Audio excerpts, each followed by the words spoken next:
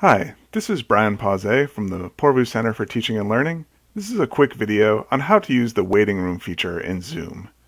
First, when scheduling a new meeting, either through your profile page on yale.zoom.us, the can through the Canvas integration, or through the Zoom app,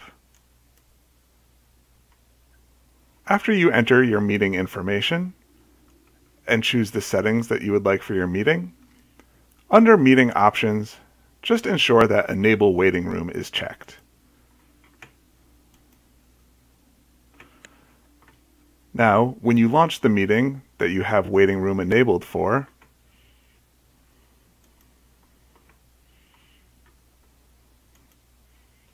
and another user joins the session, the student is prompted with a notice that says, please wait, the meeting host will let you in soon, and you as the host are prompted in your Manage Participants tab to either admit the user or to see the waiting room.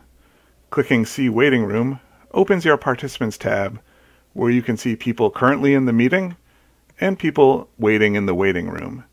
Here, you can remove the user from the waiting room or you can choose to admit them into your session. Once you admit them, they appear in your meeting room. And that is how to use the waiting room feature in Zoom. Thank you.